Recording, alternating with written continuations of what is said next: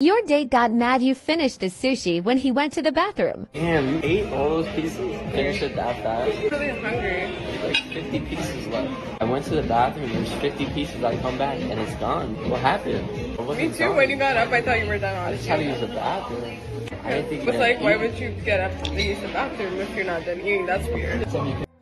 So nobody in the history of this planet has ever gotten up in the middle of eating because they had to use the restroom. How ridiculous do you sound? You ate all that food because you wanted to get all that food in before he came back just in case anything went left. You wanted to make sure he was he was responsible for it and that you had a full belly. That's the truth. And that innocent look and all of that, I, I know that this is just a game. You're playing the pretty privileged thing and all of that, and you think it's cool. Because the prettier a woman is, the more she thinks she can get away with.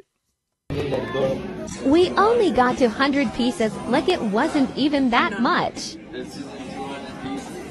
I asked the waitress to take a video of us and low-key realized I was only eating from his plate. There is no low key realized I was only eating from his plate. You know exactly what plate you were eating from. His.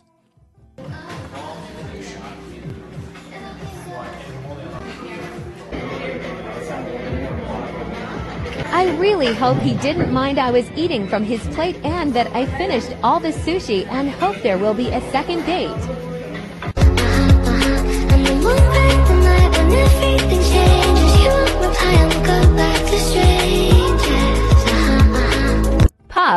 If he was smart, he wouldn't spend another minute on you, let alone another dime on you, because you are a user. That's all. You are a user. And you're not the only woman that are that is out there that's doing this type of thing, using men up for their resources.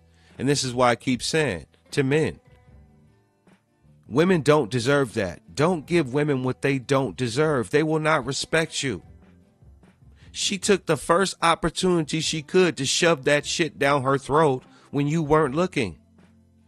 And she must have eaten it really fast to consume 50 pieces while you go to the restroom. That's crazy. Don't let women use you. There's a lot of women out there that are doing this. Women are very good at being playing innocent, like they don't know what's going on, and they're good at gaslighting. Well, you know, you went to the restroom, so I thought you were done eating. How are you going to think the guy's done eating when he still has a lot of food on his plate? And even if he is, you didn't pay for it. You're not entitled to it. It's not your money that's in that plate, it's his. You're just an ungrateful user. So, guys, be smart. If she's not willing to walk in the park with you, spend some time with you without you spending a dime, she ain't worth your time.